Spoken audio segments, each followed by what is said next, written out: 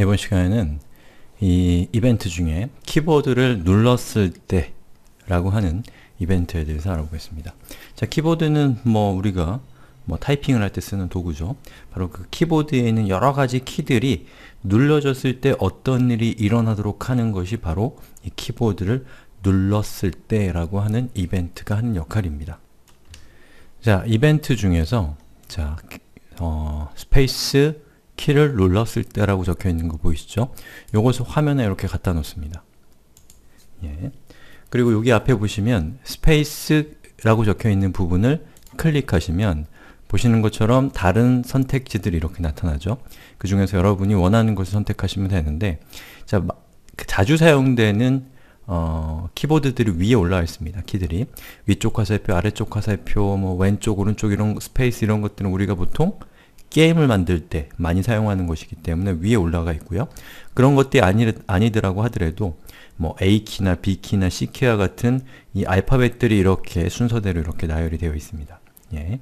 그래서 여러분이 자기가 필요한 이 키를 지정하시면 그 키가 눌러졌을 때 어떤 일이 일어나도록 할 수가 있는 기능입니다. 자 그럼 우리가 지금 배운 것을 응용해서 다른 기능들과 조합해서 어, 이 고양이를 키보드로 앞으로 갔다 뒤로 갔다 점프하는 어, 방법, 점프할 수 있도록 이 프로그램을 한번 만들어 보죠. 자 우선 음, 이벤트에서 자 여기 키보드를 눌렀을 때라는 것을 선택합니다. 자 그럼 여기 스페이스 키를 눌렀을 때 라고 하는 것이 나오죠. 여기는 스페이스 대신에 자 오른쪽 화살표 키를 눌렀을 때를 선택하는 거죠. 자 그러면 오른쪽 키, 오른쪽 화살표 키를 눌렀을 때 고양이가 앞으로 전진하게 하고 싶다면 자 동작에 있는 것 중에 10만큼 움직이기라고 하는 것을 붙여 놓으시면 고양이가 보시는 것처럼 제가 키보드를 자 오른쪽으로 키보드를 누르니까 앞으로 움직이고 있죠. 자 그런데 제가 왼쪽 키를 눌렀을 때 고양이가 뒤로 가게 하고 싶다면 어떻게 하면 될까요? 이것과 똑같은 것을 하나 더 만들어서 방향만 살짝살짝 바꿔주면 되겠죠? 그걸 한번 해보겠습니다. 자, 이거를 하나하나 갖다 놓는 것보다는 비슷한 것이기 때문에 위에 있는 복사라고 되어 있는 것을 여기에다 갖다 놓고 클릭하시면 똑같은 게 이렇게 만들어집니다. 자, 그럼 이번에는 자, 왼쪽 화살표를 눌렀을 때 고양이가 뒤로 가도록 하고 싶은 거예요.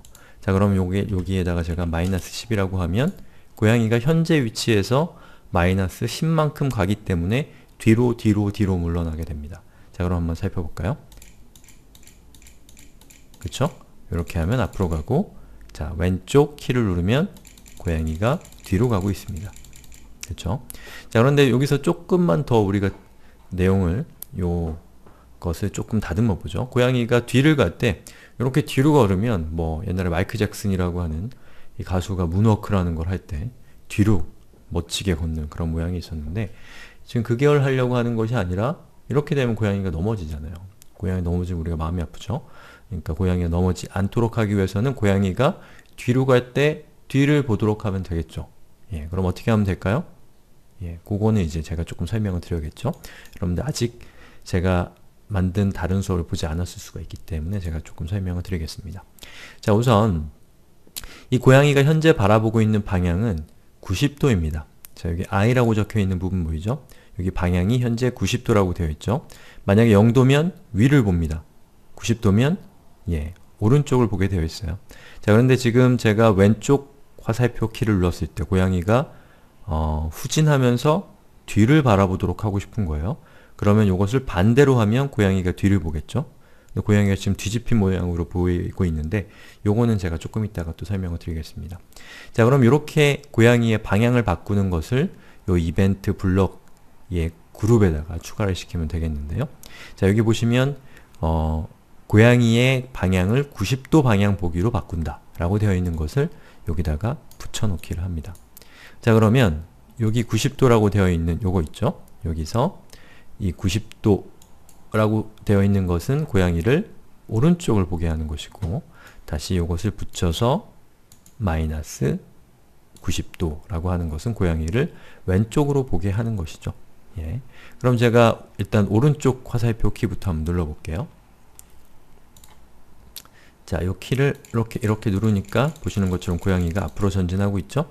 자, 그 다음에 문제는 이 뒤로 가는 화살표를 눌렀을 때 고양이가 뒤를 바라보면서 앞으로 전진하게 하면 됩니다. 자, 그런데 뭔가 이상해졌습니다. 우리가 예상한 것과 전혀 다르죠? 우선 고양이가 뒤집혀져 있고 또 고양이가 어, 오른쪽으로 가지 않고 왼쪽으로 가지 않고 오른쪽으로 가고 있습니다. 자, 그건 왜 그러냐면 우리가 고양이를 뒤집어서 어, 고양이가 이쪽 편을 보도록 지금 만든 거잖아요. 예. 우리는 고양이가 이쪽 편을 보도록 한 겁니다. 그죠? 자, 그런데 어, 고양이는 현재 이쪽 편을 보고 있지만 고양이가 움직이는 방향은 마이너스 10이라고 되어 있어요. 그러면 뭐냐면 고양이가 바라보고 있는 그 방향에서 뒤로 간다는 뜻이기 때문에 고양이가 왼쪽으로 가지 않고 오른쪽으로 가고 있는 겁니다. 그럼 여기 있는 마이너스 10을 그냥 10으로 바꿔주면 어떻게 되는지 한번 살펴볼까요? 자, 왼쪽 키를 눌렀을 때 보시는 것처럼 고양이가 왼쪽으로 이동하는 것을 볼 수가 있습니다. 자, 근데 문제는 고양이가 뒤집어져 있다는 게 문제죠? 그럼 이것을 해결하는 방법은 자, 회전 방식이라고 하는 것을 사용을 하시면 되는데요. 자, 회전 방식이라는 것을 여기다 이렇게 붙여놓습니다. 회전 방식을 왼쪽에서 오른쪽으로 정하기라고 하는 것은 이 고양이가 반대 방향을 봤을 때 뒤집히지도, 뒤집히지 않도록 하는 그런 블럭입니다. 자, 그럼 이것을 한번 제가 실행을 시켜볼게요. 자, 뒤로 가는 왼쪽 화살표 키를 눌러 보겠습니다. 보시는 것처럼 고양이가 뒤집혀지지 않죠.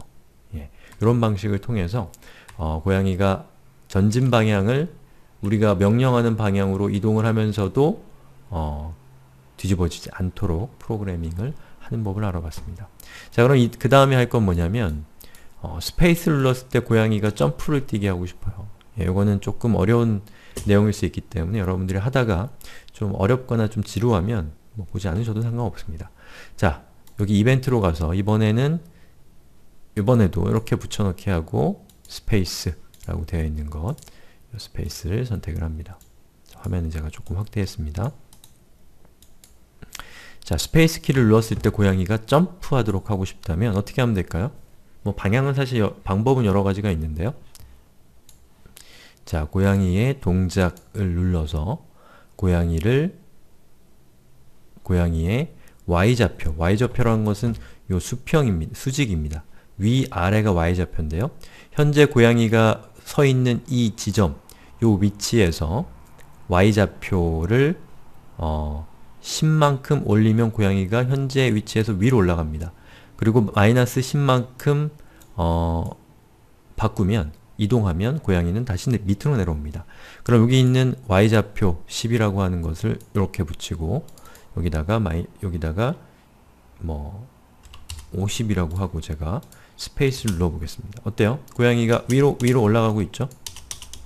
예, 그런데 점프라는 것은 위로 올라갔으면 아래로 내려와야죠. 자, 그럼 우리가 할 수 있는 것은 고양이가 위로 올라갔을 때 잠깐 멈췄다가 조금 있다가 바로 y좌표로 위로, 위로 올라간 50만큼 내려오게 하면 되죠. 50 대신에 마이너스 50을 누르면 됩니다.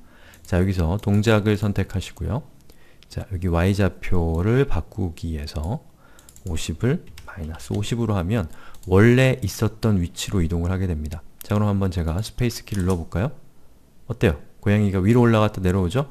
만약에 여기 있는 요 대기하는 시간이 너무 길다 그러면 요거를 0.1초 이렇게 하면 어떻게 되나요?